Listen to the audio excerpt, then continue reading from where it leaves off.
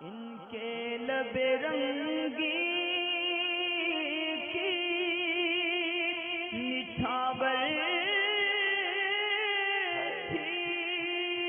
कि जिसने पहले टेस्ट में आए सवालात के जवाबात से पहले मैं कुछ बातें अर्ज़ कर देता हूँ। जो लोग इस वीडियो को इसको पहली मरतबा देख रहे हैं, वो इसको आखिर तक देखें, उसके बाद ही कोई कमेंट करें, बीच में कोई सवाल कमेंट में ना पूछें। टेस्ट जो है, जिन लोगों ने इसके अंदर हिस्सेदारी ली, काफ़ी ठीक रहा सवाल से, काफ़ी लोगों के इल्म में इजाफ़ा हो गया होगा। और जो हमारी सुन्नी आवाम है, बहुत सारे मसाइल ऐसे होते हैं कि जो उनको मालूम नहीं होते, कुछ अल्फाज ऐसे होते हैं जो उनको मालूम नहीं होते। अल्लाह तबारक व के अक़ीदे के ताल्लुक से बस वो इतना समझते हैं कि अल्लाह एक है, हमें यह अकीदा रखना है। और शिरक वगैरह नहीं करने से आगे पीछे की चीज़ें उनको मालूम नहीं होती ज़ात, सिफ़ात, उसका हादिस होना, कदीम होना, के ताल्लुक से लोगों को इल्म नहीं होता। इसके शुरू कराने का भी असल मकसद यही है कि हमारी आवाम के अंदर, चूँकि इल्म की बहुत ज़्यादा कमी है तो अब क्योंकि गैर ज़रूरी और फिजूल की वीडियो देखने से बेहतर है कि वह अपने इल्म में इजाफ़ा करें। जिन लोगों को पहले से चीज़ें मालूम है तो उनको वेरीफाइड हो जाएगी, कन्फर्म हो जाएँगी कि हमारे मसाइल जो जहनों में थे वो दुरुस्त थे या नहीं थे।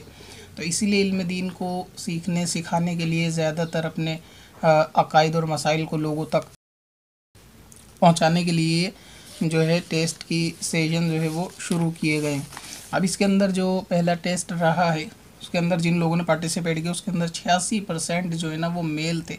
यानी लड़के थे जिन लोगों ने छियासी परसेंट ने पार्टिसिपेट किया और तकरीबन चौदह, पंद्रह के करीब परसेंट में ख़वान ने इसमें हिस्सा लिया। वजह गालिबा ये रही होगी कि नेट प्रॉब्लम या उनको इस्तेमाल करना नहीं आता, क्योंकि बहुत सारे कमेंट ऐसे तो उनको आखिरी मुद्दत तक यही नहीं पता चला था कि इसको टेस्ट को देना कैसे है ऑनलाइन जबकि सारा प्रोसेस ऑनलाइन टेस्ट की वीडियो में बता दिया गया था।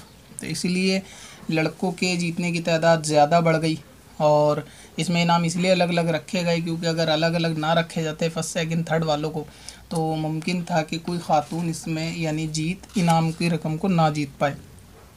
दूसरी बात ये कि जो छियासी परसेंट लड़के रहे, उसमें से सिर्फ़ सात लोगों ने ही सारे सवालों के सही जवाब दिए। यानी सिर्फ़ सात लोग ऐसे थे जिन्होंने दस में से दस जिनको नंबर मिले हैं।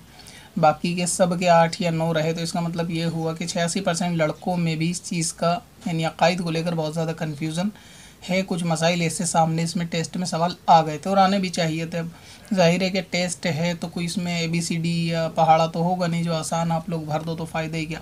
उसमें ऐसी चीज़ें होंगी जो कि हमें महसूस होगा कि आवाम शायद इसमें कन्फ्यूज़ है या उनको नहीं मालूम, ताकि उनका इल्म इजाफा हो। जो चीज़ मालूम है उसको पूछ के करना भी क्या है? मसला अगर ये लिख दें, अल्लाह ताला कितने हैं तो इस सवाल का कोई फ़ायदा नहीं है, सभी जानते हैं। दूसरा ये कि उन सात लोगों के, चलो मैं नाम बता, क्योंकि तादाद में थोड़े कम है, मैं इसलिए नाम अनाउंस कर रहा हूँ। हर वीडियो में सारे नंबर लाने वाले बैठे में बैठे, जो लाते हैं, उनके सब के नाम अनाउंस हो ऐसा ज़रूरी नहीं है। तीन लोगों के नाम अपने रिज़ल्ट में देख लिए होंगे कम्युनिटी में। उसके अलावा लोगों के पूरे हंड्रेड परसेंट आए वो। शादाब रज़ा हैं, नागपुर से, इम्तियाज़ आलम है भिलाई से, भिलई है, और मुकर्रम अली चिश्ती, रतलाम से, और सलमान रज़ा गोरखपुर यूपी से, जिन लोगों ने पूरे हंड्रेड नंबर लिए हैं। बाकी लोग पूछ रहे थे कि रिज़ल्ट अपना कहाँ देख सकते हैं, कितने नंबर है। अब इन लोगों ने हंड्रेड नंबर पूरे, यानी दस में से दस नंबर थे, हंड्रेड परसेंट थे तो बाद लोग ये कह रहे थे इन सात में से तीन को किस तरह चूज़ किया गया। तो एक्चुअली में ये टाइमिंग के अकॉर्डिंग चूज़ किया गया, इन सात में से सबसे फास्ट जवाब सबमिट करने वाले जो तीन थे, वही तीन टॉप आए हैं। तो इसी तरीके से जिन लोगों के नंबर पूरे आएँगे, यानी दस नंबर के टेस्ट में पूरे दस मार्क्स जिनके आएँगे तो उनको फिर इस बेस पे ही चुना जाएगा कि जिन्होंने सबसे पहले फॉर्म को सबमिट किया। और दूसरा ये कि एक सवाल इसके अंदर ऐसा भी रहा है कि जिसमें सबसे ज़्यादा लोगों ने गलत जवाब दिया। उसकी यानी गलती की तादाद उसमें ज़्यादा थी, करीब इक्यावन बावन परसेंट ने गलत जवाब दिया, दो तीन परसेंट को मालूम नहीं था। और छियालीस के करीब परसेंटेज थी कि जिन्होंने बिल्कुल सही जवाब दिया। और एक सवाल ऐसा था कि जिसमें ज़्यादातर लोगों को पता ही नहीं था। उसमें ज़्यादातर लोगों ने यही लिखा कि मालूम नहीं, उस सवाल का जवाब। तो अब इससे आपको मालूम भी चल जाएगा। सवालत मैं पढ़ देता हूँ। पहला सवाल ये था कि अल्लाह तबारक वाली को ऊपर वाला कहना कैसा है? और इसका जवाब था कि मना है। अल्लाह तबारक वाली को ऊपर वाला कहना नहीं चाहिए। दूसरा था, क्या अल्लाह नूर है? और इसका जवाब था, यस, अल्लाह नूर है। और इस सवाल पे मुझे हैरत हुई। एक चैनल एडमिन साहब ने इसका जवाब में भर दिया कि नो। अब मैंने उनको सेपरेट मेल भी करा मैं नाम नहीं लेता कि मुझे ऐसा लगता है कि गालिबा उन्होंने धोखे में इसको नो कर दिया। यह सवाल पढ़ा नहीं है या क्या रहा? क्योंकि अच्छे अकीदे वाले हैं, चैनल भी बड़ा है, चैनल भी चलाते हैं और सही अकीदा सुन्नी भी हैं और नात वगैरह भी पढ़ते हैं। उसके बावजूद भी उनका जवाब जब नो में आया, बड़ी हैरत हुई तो ऐसा लगा शायद गलती से उनसे ऐसा हो गया। तीसरा है कि अल्लाह तबारक वाली को मखलूक कह सकते हैं तो अल्लाह तबारक वाली को मखलूक नहीं कह सकते। मखलूक तो अल्लाह तबारक व के सिवा तमाम चीज़ें हैं। अल्लाह ताला तो उस मखलूक को बनाने वाला खालिक है। तो अल्लाह ताला खालिक है, बाकी तमाम अशियाँ जो हैं वो मखलूक हैं। अल्लाह ताला वाजिबुल वजूद है। जी हाँ अल्लाह ताला वाजिबुल वजूद है। यानी ऐसा कोई लम्हा, ऐसे कोई मुद्दत नहीं कि जब अल्लाह ताला का वजूद ना हो या नहीं था। तो अल्लाह ताला का वजूद हमेशा से हमेशा है। इसलिए अल्लाह तबारक व किसी लम्हे यानी अपने से खाली नहीं होता कि कोई आलम कोई लम्हा ऐसा हो कि वो दुनिया में उस वक्त खुदा मौजूद ना हो तो ऐसा नहीं होता। इसलिए अल्लाह ताला वाजिबुल वजूद है। इसके जवाब सही था यस। काफ़ी लोगों ने इसको जो है ना गलत करा। अल्लाह ताला कदीम है तो अल्लाह तबारक व कदीम है। यानी हमेशा से और हमेशा उसको किसी ने पैदा नहीं किया वो ख़ुद से है। और वो कभी आ, उसको कभी मौत नहीं आएगी, उसको कभी नींद नहीं आएगी, ये हमेशा से रहने वाली ज़ात है। तो इसलिए इसमें कहा जाता है कि अल्लाह तबारक व कदीम है। इसका सही जवाब भी यस था। और जो छठा सवाल था, जिसमें लोग सबसे ज़्यादा कंफ्यूज थे कि अल्लाह तबारक व की ज़ात हादिस है या नहीं तो उनको वो लफ्ज़ गालिबा समझ में नहीं आए। तो इसमें सबसे ज़्यादा लोगों ने ये जवाब दिया कि मालूम नहीं। अल्लाह तबारक व की ज़ात के सिवा तमाम चीज़ें हादिस हैं।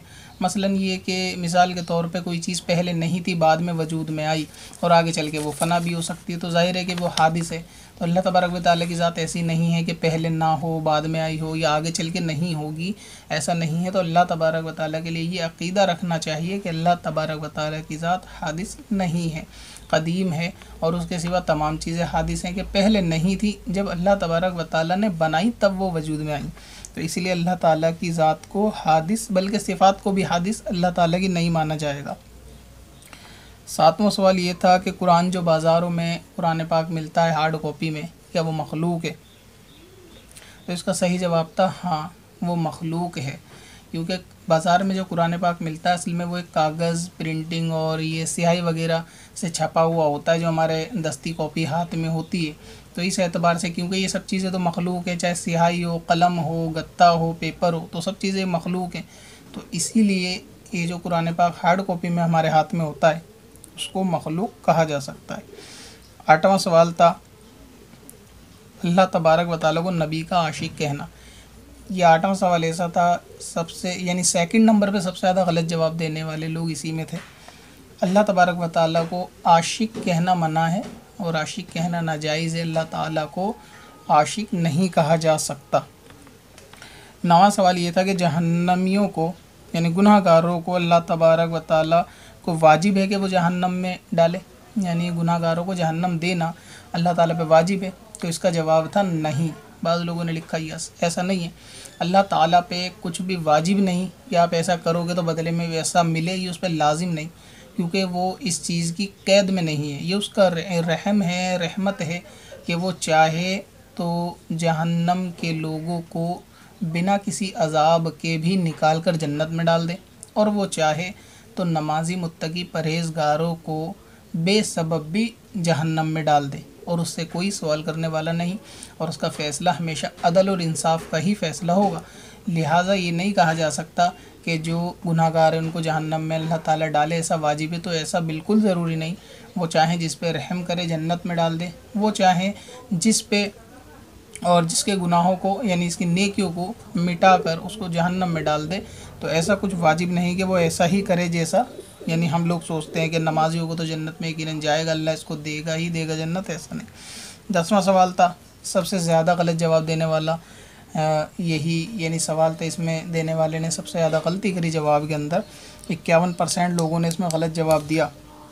नींद में अल्लाह तबारक वाली का, यानी ख्वाब में अल्लाह ताला को देखना मुमकिन है या नहीं है?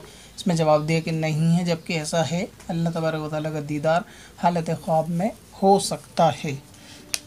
तो ये थे सवाल जवाब जो फ़र्स्ट टेस्ट में आए थे और ये कुछ विनर थे। बाकी लोग ये पूछ रहे थे कि इनको बाकी विनर्स के नाम वगैरह कैसे देख सकते हैं? अभी इसकी कोई तरकीब समझ में नहीं आ रही कि किस तरह सबके रिज़ल्ट को शो ऑफ़ कराया जाए कि सबके अपने अपने नंबर और नाम देख लें। बाकी सब आप लोग पार्टिसिपेट करते रहें।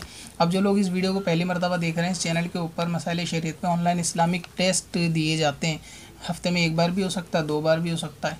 जब टेस्ट की डेट और टाइम होती है। टेस्ट का पेज उसी वक्त ओपन होता है और उसी वक्त उस पर सवाल नज़र आते हैं। दस मिनट का टाइम होता है, आप उसको फिल करके सबमिट कर दें। अब ये टेस्ट का पेज कहाँ मिलेगा? नीचे डिस्क्रिप्शन में इसी वीडियो के लिंक है हेल्प डेस्क के नाम से। आप उस पर क्लिक करें। जब वो पेज ओपन हो जाएगा तो वहाँ पर आपको ऑनलाइन इस्लामिक टेस्ट का एक लिंक मिलेगा, उस पर क्लिक करके अपना फॉर्म भर सकते हैं। अभी इसमें क्या है कि ये बात बताने के बाद भी कि टेस्ट का जो पेज है, वो टाइम पर ही ओपन होगा। बार बार लोग यही पूछ रहे थे कि वो ओपन ही नहीं हो रहा। मेरे ख्याल से उन्हीं लोगों का टेस्ट छूटा भी होगा कि जिनको बात ही समझ में नहीं आई कि जो टेस्ट का पेज है, वो टेस्ट के टाइम पर ही ओपन होगा। एग्ज़ाम से पहले वो ओपन नहीं होगा। आप उसको पाँच मिनट पहले क्लिक करके रेडी रहें, रिफ़्रेश करते रहें पेज को। जैसे ही वो ओपन हो, आप उसके अंदर अपने सवाल को भरना शुरू कर दें। मगर उससे पहले उसके शो होने का तो कोई मतलब ही नहीं बनता। इसीलिए हेल्प डेस्क की वीडियो देख लें। जो लोग नए हैं, वो ऑनलाइन इस्लामिक टेस्ट की वीडियो देख लें। यूट्यूब पे टाइप करें मसाइल शरीयत इस्लामिक टेस्ट के नाम से या मसाइल शरीयत ऑनलाइन टेस्ट के नाम से। तो आपको जो टॉप पर वीडियो दिखे इस चैनल के नाम से मसाले शरीयत पर उसको देख लें उसके अंदर पूरी तफसील आपको जो है इन ताला मिल जाएगी। पत्थर में पुरनवार।